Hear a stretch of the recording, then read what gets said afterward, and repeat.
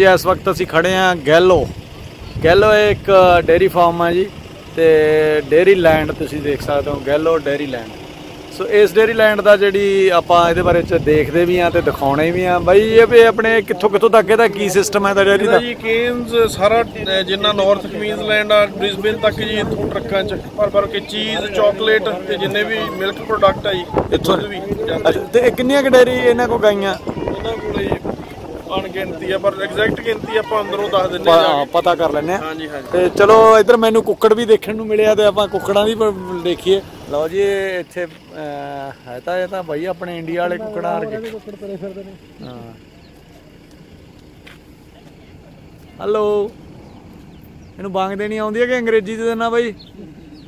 ਉਹ ਪਰਲਾ ਦਾ ਕੁੱਕੜ ਨਹੀਂ ਹੈ ਬਾਈ ਕੁਝ ਹੋਰ ਆ ਉਹ ਕੁੱਕੜੀ। ਕੁੱਕੜ ਦੀ ਕਿਸਮ ਹੀ ਆਈ ਉਹ ਕੁੱਕੜ ਦੀ ਹੋਰ ਕਿਸਮ ਆ ਕੋਈ ਦਾ ਸਿਰ ਜਾ ਫੁੱਲਿਆ ਜਾ ਉਹ ਉਹ ਇੱਕ ਕਈ ਤਰ੍ਹਾਂ ਦੇ ਕੁੱਕੜ ਇੱਕ ਕੁੱਕੜ ਜੀ ਲੈ ਜੀ ਦੇ- ਦੇਖਣ ਤਾਂ ਡੇਰੀ ਫਾਰਮ ਆਏ ਸੀ ਤੇ ਇੱਕ ਅਜੀਬ ਜਿਹਾ ਕੁੱਕੜ ਦੇਖ ਲਿਆ ਆਪਾਂ ਆਹ ਦੇਖੋ ਪਰਲੇ ਪਾਸੇ ਵਾਲਾ ਇਹ ਕੁੱਕੜੀ ਲੱਗਦੀ ਆ ਕੁੱਕੜ ਨਹੀਂ ਲੱਗਦਾ। ਚਲੋ ਜੋ ਵੀ ਹੈ ਕੁੱਕੜ ਜਾਂ ਕੁੱਕੜੀ ਹੈ। ਸੋ ਆਪਾਂ ਦੇਖਦੇ ਹਾਂ ਜੀ ਇਹ ਡੇਰੀ ਫਾਰਮ ਬਹੁਤ ਸਾਰੇ ਜਿਹੜੇ ਇੱਥੇ ਆਏ ਹੋਏ ਆ ਇਸ ਟਾਈਮ ਵਿਜ਼ਟਰ ਤੇ ਤੁਸੀਂ ਜੇ ਅੰਦਰ ਦੇਖੋਗੇ ਤਾਂ ਬਹੁਤ ਸਾਰੇ ਵਿਜ਼ਟਰ ਦੇ ਨਾਲ ਇਹ ਇੱਕ ਅਹ, ਕਹਿ ਸਕਦੇ ਕੈਫੇ ਚੱਲਦਾ ਅੰਦਰ। ਤੇ ਪਰ ਜੇ ਅਸੀਂ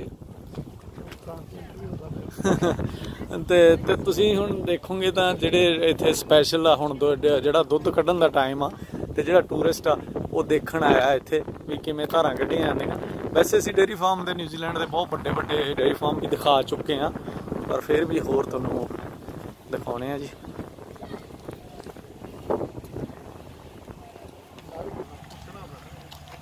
ਲਓ ਜੀ, ਅਸੀਂ ਤਾਂ ਤਾਂ ਲੱਭਣ ਦਾ ਕੁਝ ਹੋਰ ਆਏ ਸੀ, ਲੱਭ ਗਿਆ ਕੁਝ ਹੋਰ। ਆਹ ਪਤਾ ਨਹੀਂ ਕੀ ਜਾਨਵਰ ਆ, ਹੁਣ ਤੁਸੀਂ ਆਪ ਦੇਖ ਲਓ। ਮੈਨੂੰ ਤਾਂ ਸਮਝ ਹੀ ਨਹੀਂ ਆਈ। ਮੋਰ ਵਾਂਗੂ ਪਹਿਲ ਪਾਈ ਹੋਈ ਆ। ਮੋਰ ਕੀ? ਤੁਰ ਟਰਕੀ? ਇਹ ਟਰਕੀ ਹੈ ਜੀ ਕਹਿੰਦੇ। ਮੋਰ ਵਾਂਗੂ ਪਹਿਲ ਵੀ ਪਾਉਂਦੀ ਆ ਤੇ ਨਾਲ ਨਾਲ ਤੁਸੀਂ ਹੋਰ ক্লোਜ਼ ਕਰਕੇ ਦਿਖਾ ਦੇਣਾ ਜੀ ਮੈਂ ਤੁਹਾਨੂੰ। ਗਲ ਜਾ ਤਾਂ ਇਹਨਾਂ ਦਾ ਐ ਜਿਵੇਂ ਕੋਈ ਬਿਮਾਰੀ ਲੱਗੀ ਹੁੰਦੀ ਇਹਨਾਂ ਨੂੰ। ਜਾਂ ਰੱਬ ਬੰਨਿਓ, ਕੁਦਰਤ ਬੰਨਿਓ, ਇਹ ਡਿਜ਼ਾਈਨ ਆ ਜੀ। ਬਾਕੀ ਮੈਂ ਇੱਥੇ ਇੱਕ ਗੱਲ ਦੱਸ ਜੀ ਤੁਹਾਨੂੰ ਵੀ ਇੱਥੇ ਜਿਹੜਾ ਸਮੈਲ ਆ ਰਹੀ ਹੈ ਨਾ ਜਿਹੜੀ ਇੱਥੋਂ ਦੀ, ਬਿਲਕੁਲ ਉਵੇਂ ਮਹਿਸੂਸ ਹੋ ਰਿਹਾ ਵੀ ਜਿਵੇਂ ਆਪਣੇ ਪਿੰਡਾਂ ਦੇ ਵਿੱਚ ਦਰਵਾਜ਼ੇ ਵੀ ਦੀ ਲੰਘ ਕੇ ਜਦੋਂ ਕਿਸੇ ਦੇ ਘਰ ਜਾਈਦਾ, ਤਾਂ ਉਹ ਦਰਵਾਜ਼ੇ ਵਾਲੀ ਸਮੈਲ ਇੱਥੇ ਆ ਰਹੀ ਆ। ਵੀ ਗੋਹੇ ਦੀ ਤੇ ਉਹ ਡੇਰੀ ਫਾਰਮ ਦੀ ਜਿਹੜੀ ਹੁੰਦੀ ਹੈ ਟਿਪੀਕਲ ਸਮੈਲ ਪਰ ਫਿਰ ਵੀ ਤੁਸੀਂ ਦੇਖੋ ਕਿੰਨੇ ਲੋਕ ਇੱਥੇ ਜਿਹੜੇ ਦੇਖਣ ਆਏ ਹੋਏ ਆ, ਵੀ ਕਿਦਾਂ ਗਾਈਆਂ ਦੀ ਧਾਰ ਕੱਢੀ ਜਾਂਦੀ ਆ। ਸੌਰੀ ਸੋ ਜੀ ਪ੍ਰੈਸ਼ਰ ਨਾਲ ਥਣ ਧੋਏ ਜਾ ਰਹੇ ਆ।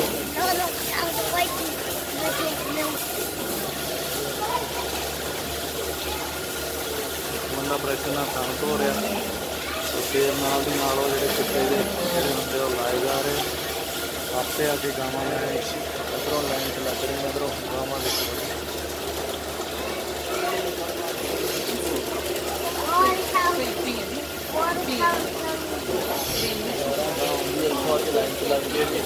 ਬੰਦਾ ਇੱਥੇ ਪ੍ਰੈਸ਼ਰ ਨਾਲ ਆ। ਬੰਦਾ ਜਿਹੜਾ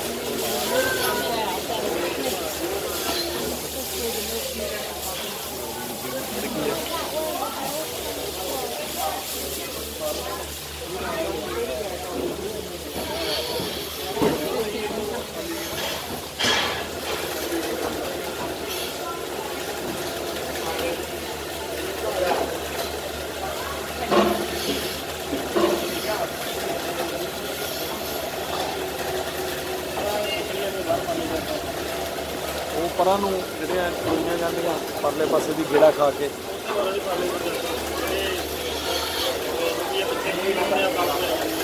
ਆਪਣੇ ਆਪ ਜਾ ਰਹੀਆਂ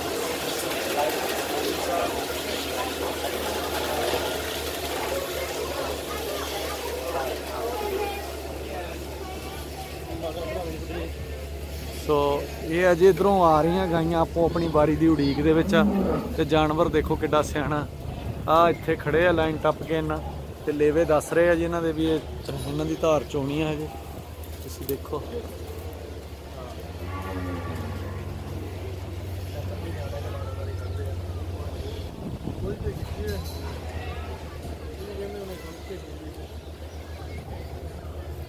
ਲਓ ਜੀ, ਇੱਧਰ ਵੀ ਬਹੁਤ ਵੱਡਾ ਜਿਹੜਾ ਹੈ ਡੈਰੀ ਫਾਰਮ ਆ ਜੀ। ਮੇਰੇ ਵਰਗਾ ਲੈ ਕੇ ਇੱਕ ਗਾਂ ਹਵਾ ਕਰਨ ਲੱਗ ਜਾਂਦਾ।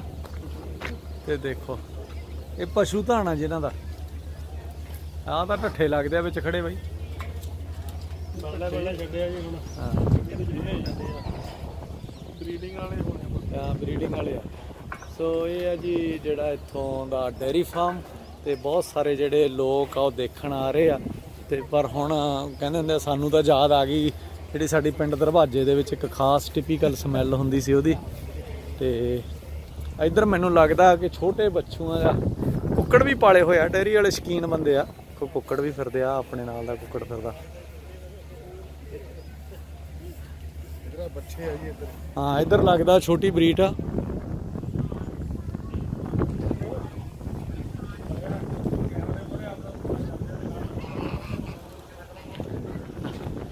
ਸੋ ਜੇ ਇੱਥੇ ਅਸੀਂ ਦੇਖਾਂਗੇ ਤਾਂ ਇੱਥੇ ਛੋਟੇ ਬੱਚੇ ਆ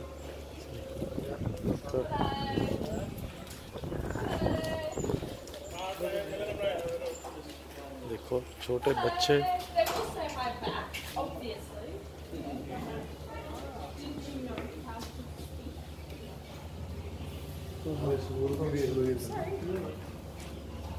ਇਹ ਛੋਟੇ ਬੱਚਿਆਂ ਦਾ ਘਰ ਆ ਜੀ ਤੇਰੀ ਫਾਰਮ ਤੇ ਇਧਰਲੇ ਪਾਸੇ ਫੇਰ ਆ ਗਏ ਆਪਣੇ ਬੱਕਰਾ ਕੁੱਕੜ ਪੂਰੇ ਸ਼ੌਂਕ ਇਹ ਕੀ ਹੈ ਜੀ ਅੱਛਾ ਇਹ ਕੀ ਖਾਂਦੇ ਆ ਸੂਰ ਮੱਕੀ ਪੂਰੀ ਵੀ ਫਸਲ ਖਰਾਬ ਕਰਦੇ ਆ ਅੱਛਾ। ਇਹ ਝੱਲ ਦਿੰਦੇ ਸਾਰਾ ਕੁਝ। ਅੱਛਾ। ਅੱਛਾ ਇੱਕ ਆ ਆ ਤਾਂ ਚਿੱਟੇ ਸੂਰਾ ਕਾਲਾ ਸੂਰਾ ਬੱਚਾ ਜੀ ਉਹਦਾ ਅੱਛਾ ਜੀ ਆਪਾਂ ਕਾਲਾ ਸੂਰ ਦਿਖਾਉਣੇ ਆ ਤੁਹਾਨੂੰ ਇੱਕ ਮਿੰਟ। ਇਹਦੇ ਸਿੰਘ ਵੀ ਹੁੰਦੇ ਪੂਰੇ ਅੱਛਾ। ਦੰਦ ਚੰਗੇ ਇਹ ਇਹ ਇਹਨੂੰ ਜੰਗਲੀ ਸੂਰ ਵੀ ਕਹਿੰਦੇ ਆ? ਇਹ ਜੰਗਲੇ ਦੂਰ ਦੇ ਕਹਿੰਦੇ ਅੱਛਾ। ਤੇ ਇਹ ਹੁਣ ਜਿਹੜੇ ਇਹਨੂੰ ਜੇ ਖੇਤਾਂ ਦੇ ਵਿੱਚ ਜੇ ਜਾਵੜ ਦਾ ਨੁਕਸਾਨ ਕਰਦਾ ਜਾਂ ਜ਼ਿਮੀਦਾਰ ਦਾ ਬ੍ਰੈਂਡ ਆ ਜਾਂਦਾ ਇਹ ਕੇਲੇ ਨੂੰ ਤੋੜ ਦਿੰਦਾ ਤੇ ਅਜੇ ਬ੍ਰੈਂਡ ਦਾ ਕਹਿ ਨਹੀਂ ਸਕਦੇ। ਇਹ ਦੁਸ਼ਮਣੀ ਹੈ। ਦੁਸ਼ਮਣ ਹੀ ਕਹਿ ਮਿੱਤਰ ਕੀੜਾ ਨਹੀਂ ਹੈ। ਸੰਨੇ ਦੇ ਖੇਚ ਬੜੂਗਾ ਜੀ ਗੰਨਾ ਖਾਣਾ ਨੇ ਕੇਲੇ 'ਚ ਜਾਊਗਾ ਬੁੱਢੇ ਬਣੂਗਾ ਅੱਛਾ। ਤੇ ਦੁਸ਼ਮਣ ਜੀ ਵਾਲੇ ਪਾਸਿਓਂ ਦੇਖਿਆ ਜਾਵੇ। ਹਾਂ ਚਲੋ ਜੀ। ਦੇਖ ਲਓ। ਤੁਹਾਨੂੰ ਜਿਹੜੇ ਸੂਰ ਵੀ ਦਿਖਾਤੇ ਆ। ਸਪੈਸ਼ਲ ਮੰਜਰੇ ਲਾਏ ਜਾਂਦੇ ਤੋਂ ਫੜਿਆ ਜਾਂਦਾ ਅੱਛਾ। ਮਾਰ ਕੇ ਸਿੱਟ ਦਿੱਤਾ ਜਾਂਦਾ ਇਹਨੂੰ ਖਾਂਦੇ ਨਹੀਂ ਤਾਂ ਮੀਟ ਨਹੀਂ ਖਾਂਦੇ? ਨਹੀਂ ਨਹੀਂ ਜੰਗਲੀ ਇਹਦਾ ਜਿਹੜਾ ਮੀਟ ਆ ਨਹੀਂ ਜਿਹੜੇ ਜੋਇੰਟ ਆ ਉਹਨਾਂ 'ਚ ਕਈ ਵਾਰੀ ਕੋਈ ਡਿਸੀਜ਼ ਬਿਮਾਰੀ ਹੋ ਸਕਦੀ ਆ। ਅੱਛਾ, ਇਹਨੂੰ ਇਹਦਾ ਮੀਟ ਖਾਣਾ ਤੇ ਇਹਨੂੰ ਇਹਦਾ ਮੀਟ ਘੱਟੋ ਘੱਟ ਤੁਹਾਨੂੰ ਕੱਟ ਕੇ ਮਹੀਨਾ ਫਰੋਜ਼ਨ ਕਰਕੇ ਰੱਖਣਾ ਪੈਂਦਾ ਬਿਮਾਰੀ ਰਹਿਤ ਹੋ ਜੇ। ਅੱਛਾ। ਫੇਰ ਖਾ ਸਕਦੇ ਕੀ ਬਾਤ ਆ ਜੀ। ਲਓ ਜੀ ਗਿਆਨ ਚ ਵਾਧਾ ਹੋ ਰਿਹਾ। ਸਾਡੇ ਤਾਂ ਤੇ ਤੁਹਾਡੇ ਵੀ ਹੋਊਗਾ ਜੀ ਜਦੋਂ ਜਿਵੇਂ ਜਿਵੇਂ ਇਸ ਵੀਡੀਓ ਨੂੰ ਦੇਖੋਗੇ ਤੇ ਤੁਸੀਂ ਦੇਖੋ ਵੀ ਡੈਰੀ ਫਾਰਮ ਵਾਲੇ ਸ਼ਕੀਨ ਆ ਜਾਨਵਰਾਂ ਦੇ ਜੀ। ਕਿਧਰੇ ਬੱਕਤਾਂ ਫਿਰਦੀਆਂ ਕਿਧਰੇ ਕੁੱਕੜ ਫਿਰਦੇ ਆ ਕਿਧਰੇ ਸੂਰ ਫਿਰਦੇ ਆ ਜੀ। ਤੇ ਇੱਕ ਬਹੁਤ ਵੱਡਾ ਡੈਰੀ ਫਾਰਮ ਇਹ ਇੱਥੋਂ ਦਾ ਹੈਗਾ ਜੀ। ਤੇ ਇਸ ਕਰਕੇ ਆ ਫਾਰਮ ਦਾ ਨੋਟਸ ਹਾਂ ਜੀ ਉਹ ਕਰਤਾ ਜੀ ਮੈਂ। ਉਹ ਮੈਂ ਕਿਹਾ ਸਾਡੇ ਜਿਹੜੀ ਜਿਹੜੀ ਸਮੈਲ ਆ ਉਹ ਸਾਡੇ ਦਰਵਾਜ਼ੇ ਵਰਗੀ ਆ ਰਹੀ ਹੈ, ਜਿਵੇਂ ਗਾਵਾਂ ਵਿੱਚ ਦੀ ਨਿਕਲ ਕੇ ਜਾ ਕੇ ਘਰੇ ਜਾਂਦੇ ਸੀ। ਤੇ ਉਹ ਜੀ ਸਮੈਲ ਆ ਰਹੀ ਆ, ਹੋਰ ਕੁੱਕੜ ਜਿਹੜੇ ਇੱਥੇ ਫਿਰਦੇ ਆ ਜੀ, ਜੋ ਤੁਸੀਂ ਦੇਖੋਗੇ, ਬਹੁਤ ਸਾਰੇ ਇੱਥੇ ਜਿਹੜੇ ਸਲਾਨੀ ਆ ਇਸ ਟਾਈਮ ਜਿਹੜੇ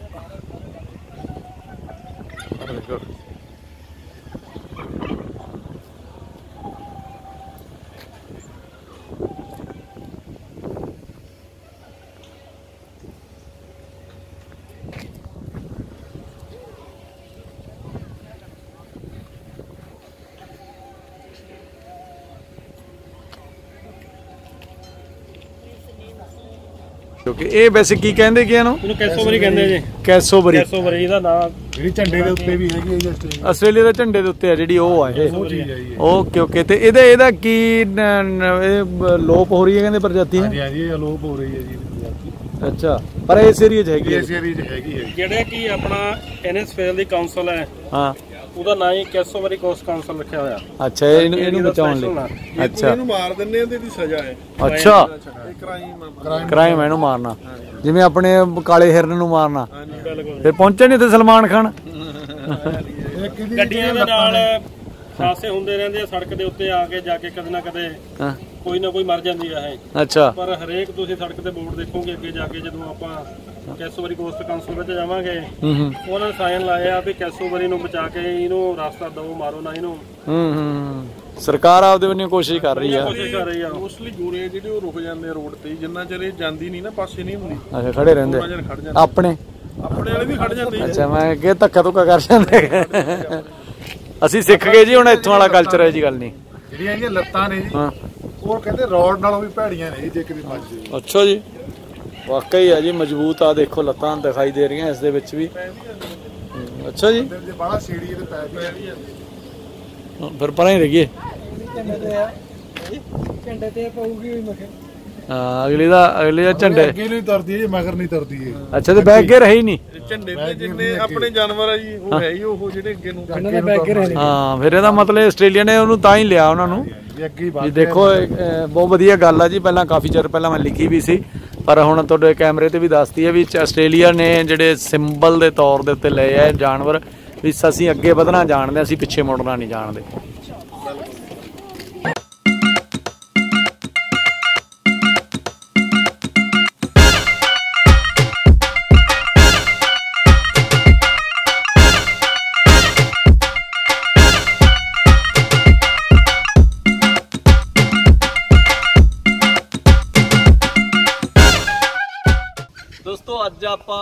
ਪਿੰਡੂ ਆਸਟ੍ਰੇਲੀਆ ਦਾ ਜਿਹੜਾ ਕਰੂ ਆ ਸਾਡਾ ਤੇ ਉਹ ਹੈਗਾ ਕੇਨਸ ਦੇ ਵਿੱਚ। ਹੁਣ ਕੇਨਸ ਦੀ ਜੇ ਗੱਲ ਕਰੀਏ ਤਾਂ ਮੈਂ ਥੋੜੀ ਜੀ ਸਾਡੇ ਬਾਹਰ ਬਸਦੇ ਸੱਜਣਾ ਮਿੱਤਰਾਂ ਨੂੰ ਦੱਸ ਦਿਆਂ ਆਸਟ੍ਰੇਲੀਆ ਬਹੁਤ ਵੱਡਾ ਇੱਕ ਮੁਲਕ ਆ ਜੀ। ਇਸ ਮੁਲਕ ਦੇ ਇੱਕ ਪਾਸੇ ਤੋਂ ਦੂਜੇ ਪਾਸੇ ਜਾਣ ਦੇ ਤੇ ਕਈ ਵਾਰੀ ਜਹਾਜ਼ ਨੂੰ 4-4 ਘੰਟੇ 5-5 ਲੱਗ ਜਾਂਦੇ ਆ। ਸੋ ਅਸੀਂ ਸਾਊਥ ਚ ਵੱਸਦੇ ਆ ਜਮਾ ਤਾਂ ਥੱਲੇ ਪਾਸੇ। ਐਡਲੇਡ ਆ ਜਿਹੜਾ ਸਾਊਥ ਦੇ ਵਿੱਚ ਆ। ਤੇ ਜਿਹੜਾ ਅਹ, ਆ ਉਹ ਹੈ ਜੀ ਕੁਇਨਜ਼ਲੈਂਡ ਦੇ ਵਿੱਚ। ਕੁਇਨਜ਼ਲੈਂਡ ਦੇ ਵਿੱਚ ਕਿਹੜਾ? ਨਾਰਥ। ਕੁਇਨਜ਼ਲੈਂਡ ਤੇ ਨਾਰਥ ਕੁਇਨਜ਼ਲੈਂਡ ਤੋਂ ਵੀ ਗਾਂ ਕਹਿੰਦੇ ਫਾਰ ਨਾਰਥ ਕੋ ਵੀ ਉਦੋਂ ਜਮਾ ਦੂਰ ਕੁਇਨਜ਼ਲੈਂਡ ਤੇ ਜੇ ਅਸੀਂ ਦੇਸੀ ਭਾਸ਼ਾ 'ਚ ਗੱਲ ਕਰੀਏ ਤਾਂ ਜਿਹਨੇ ਵੀ ਆਸਟ੍ਰੇਲੀਆ ਦਾ ਨਕਸ਼ਾ ਦੇਖਿਆ, ਅਸੀਂ ਤਾਂ ਥੱਲੇ ਜਿਹੜੀ ਪੂਛ ਜੀ ਆ ਉਹਦੇ ਤੇ ਬੈਠੇ ਆ ਐਡਲੇਡ ਵਾਲੇ।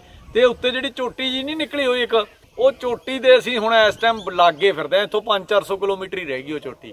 ਤੇ ਸੋ ਇਸ ਟਾਈਮ ਅਸੀਂ ਪਹੁੰਚੇ ਹੋਏ ਆ ਕੇਨਸ ਦੇ ਮੇਨ ਜਿਹੜਾ ਕੇਨਜ਼ ਸ਼ਹਿਰ ਆ ਤੇ ਨਾਲ ਦੇ ਏਰੀਆ ਜਿਹੜਾ, ਜਿਨ੍ਹਾਂ 'ਚ ਇਨਸਫਲ ਆ ਤੇ ਹੋਰ ਬਹੁਤ ਸਾਰੀਆਂ ਚੀਜ਼ਾਂ ਜਿਹੜੀਆਂ ਅਸੀਂ ਇੱਥੇ ਦੇਖਣ ਦਿਖਾਉਣ ਵਾਲੀਆਂ ਤੁਹਾਨੂੰ ਦਿਖਾ ਰਹੇ ਆ ਤੇ ਹੋਰ ਵੀ ਦਿਖਾਵਾਂਗੇ।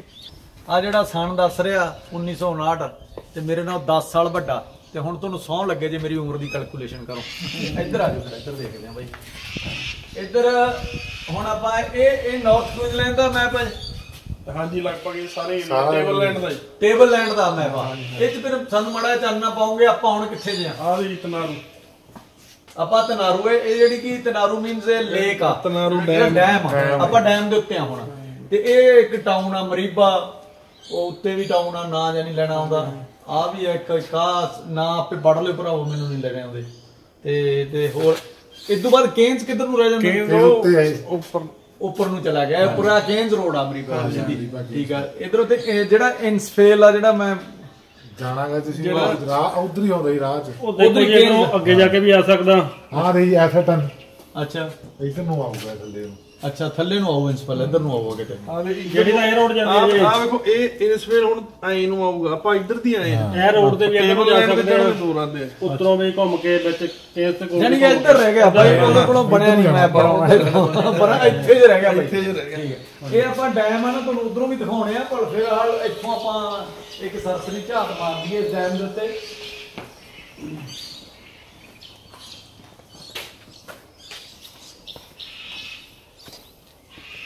ਉਨੀ ਸੌ ਉਨਾਹਠ ਦੇ ਵਿੱਚ 3 ਅਕਤੂਬਰ ਨੂੰ ਜੀ ਇਹਦਾ ਹੋਇਆ। ਕਮੈਮੋਰੇਸ਼ਨ ਹਾਂਜੀ। ਸੋ ਉਧਰ ਲੰਮੀ ਝਾਤ ਜੇ ਮਾਰਦੇ ਆ ਤਾਂ ਪਹਾੜ ਆ ਜਿਹੜੇ ਬੱਦਲਾਂ ਨੇ ਢੱਕ ਲਏ ਆ ਜੀ। ਆਥਣ ਦਾ ਵੇਲਾ ਹੁੰਦਾ ਜਾਂਦਾ। ਤੇ ਜਾਨਵਰ ਬੋਲ ਰਹੇ ਆ ਤੇ ਬੜਾ ਕੁਦਰਤੀ ਨਜ਼ਾਰਾ ਜਿਹਨੂੰ ਕਹਿ ਦਿੰਦੇ ਆ। ਸੁੱਖ ਦਾ ਸਾਹ ਆਉਂਦਾ ਹਵਾ 'ਚ, ਉਹ ਇੱਥੇ ਆ। ਵਾਤਾਵਰਨ ਆ ਜਿਹੜਾ, ਕੁਦਰਤ ਡੁੱਲ ਡੁੱਲ ਪੈਂਦੀ ਹੈ ਹਰ ਪਾਸਿਓਂ। ਉਹ ਤੁਹਾਨੂੰ ਪੱਤਿਆਂ 'ਚੋਂ ਵੀ ਝਲਕਦੀ ਹੈ ਤੁਹਾਨੂੰ ਘਾਹ 'ਚੋਂ ਵੀ ਝਲਕਦੀ ਹੈ ਤੇ ਤੁਹਾਨੂੰ ਪਾਣੀ 'ਚੋਂ ਵੀ ਚੱਲਦੀ ਹੈ ਤੇ ਚਲੋ ਆਪਾਂ ਉਹ ਡੈਮ ਤੇ ਚੱਲਦੇ ਹਾਂ ਉੱਥੇ ਜਾ ਕੇ ਉਸ ਬਾਰੇ ਹੋਰ ਜਾਣਕਾਰੀ ਲੈਂਦੇ ਹਾਂ।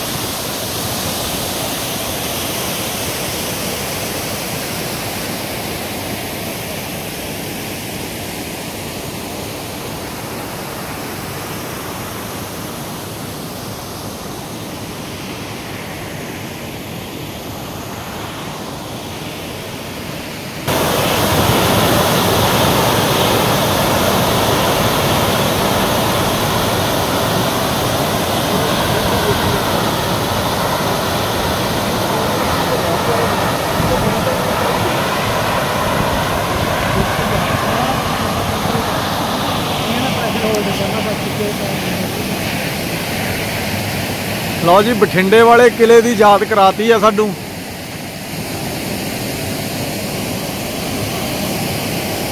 ਇਸ ਡੈਮ ਦੇ ਉੱਤੇ ਜਿਹੜੇ ਆ ਨਾਂ ਲਿਖੇ ਆ, ਇਹ ਬਠਿੰਡੇ ਦੀ ਕਿਲੇ ਦੀ ਯਾਦ ਕਰਾਉਂਦਾ ਕਿਸੇ ਜ਼ਮਾਨੇ 'ਚ ਅਸੀਂ ਵੀ ਪੜਨ ਵੇਲੇ ਬਠਿੰਡੇ ਦੇ ਕਿਲੇ ਦੀਆਂ ਕੰਧਾਂ ਦੇ ਉੱਤੇ ਸਪੈਸ਼ਲ ਕੋਈ ਨਾ ਕੋਈ ਚੀਜ਼ ਘਰੋਂ ਲਿਜਾ ਕੇ ਤਾਂ ਨਾਂ ਲਿਖਦੇ ਹੁੰਦੇ ਸੀ। ਤੇ ਇਹ ਇੱਕ ਆਸਟ੍ਰੇਲੀਆ ਦੇ ਬਹੁਤ ਵੱਡੇ ਡੈਮ ਦੇ ਉੱਤੇ ਇਹ ਚੀਜ਼ਾਂ ਜਿਹੜੀਆਂ ਲਿਖੀਆਂ ਹੋਈਆਂ ਮਿਲਦੀਆਂ।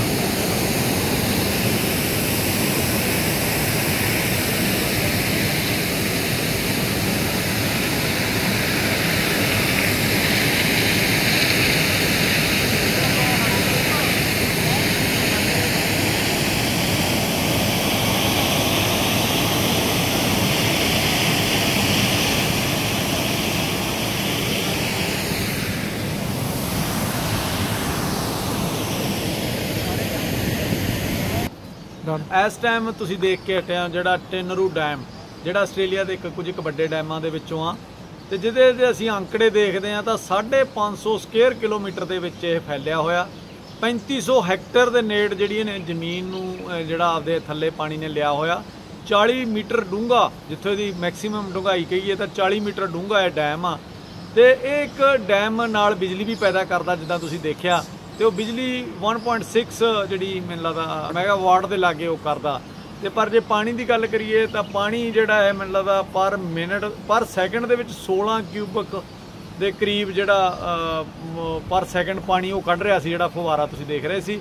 ਸੋ ਇਹ ਡੈਮ ਦਾ ਜੇ ਤੁਸੀਂ ਕੰਧ ਦੇਖੋ, ਤਾਂ ਉਹ ਡੈਮ ਦੀ ਕੰਧ ਕਹਿੰਦੇ ਓਵਰਫਲੋ ਵੀ ਕਰ ਜਾਂਦੀ ਹੈ ਮੀਂਹਾਂ ਦੇ ਵਿੱਚ। ਮੈਂ ਪਹਿਲਾਂ ਹੀ ਸਾਡੇ ਮੇਜ਼ਬਾਨਾਂ ਨੂੰ ਪੁੱਛ ਰਿਹਾ ਸੀ ਵੀ ਇੱਥੇ ਜੇ ਕੰਧ ਟੁੱਟ ਜੇ ਤਾਂ ਕੀ ਬਣੇ ਇੰਨਾ ਪਾਣੀ ਕਿਵੇਂ ਸਮੇਂ? ਤਾਂ ਕਹਿੰਦੇ ਮੀਂਹਾਂ 'ਚ ਓਵਰਫਲੋ ਵੀ ਕਰ ਜਾਂਦੀ ਆ। ਪਰ ਜਿਹੜੇ ਮੇਰੇ ਤੁਸੀਂ ਪਿੱਛੇ ਜੇ ਨਿਗਾਹ ਮਾਰੋਗੇ ਤੇ ਇਹ ਹੈਗੀ ਆ ਜੀ ਇੱਥੋਂ ਦੀ ਭਾਖੜਾ ਨਹਿਰ। ਐਂ ਸਮਝ ਲਓ ਇਹ ਭਾਖੜਾ ਡੈਮ ਆ ਆ ਭਾਖੜਾ ਇਹਨਾਂ ਦੀ ਨਹਿਰ ਆ। ਇਹੋ ਜਿਹੀਆਂ ਨਹਿਰਾਂ ਕਈ ਪਾਸੇ ਇਸ ਡੈਮ 'ਚੋਂ ਨਿਕਲਦੀਆਂ ਤੇ ਫਿਰ ਜਾ ਕੇ ਇੱਥੇ ਜਿਹੜੇ ਪਲੇਨ ਏਰੀਏ ਆ ਜਾਂ ਜਿੱਥੋਂ ਤੱਕ ਇਹ ਜਾ ਸਕਦੇ ਆ, ਉੱਥੋਂ ਤੱਕ ਜਾਂਦੀਆਂ ਤੇ ਉੱਥੇ ਜਾ ਕੇ ਇਹ ਜਿਹੜੀਆਂ ਜ਼ਿਮੀਂਦਾਰ ਨੂੰ ਸਰਵਾਈਵ ਕਰਦੀਆਂ। ਪਰ ਸਭ ਤੋਂ ਵੱਡੀ ਗੱਲ ਆ ਵੀ ਇਹਦੇ 'ਚ ਮੈਨੂੰ ਨਹੀਂ ਲੱਗਦਾ ਕਿਤੇ ਟੂਬਾਂ ਸਿੱਟਦੇ ਹੋਣਗੇ, ਕਿਉਂਕਿ ਖੜਮੀ ਜੀ ਕੰਧਾ ਆ, ਟੂਬ ਸਿੱਟਣੀ ਔਖੀ ਹੋਣੀ ਆ। ਪਰ ਇਹਦਾ ਵੀ ਆਪਾਂ ਕੱਲ ਨੂੰ ਜ਼ਰੂਰ ਪੁੱਛਾਂਗੇ ਜ਼ਿਮੀਂਦਾਰਾਂ ਤੋਂ ਵੀ ਉਹ ਨਹਿਰ 'ਚ ਟੂਬਾਂ ਸਿੱਟਦੇ ਆ ਕਿ ਨਹੀਂ ਸਿੱਟਦੇ।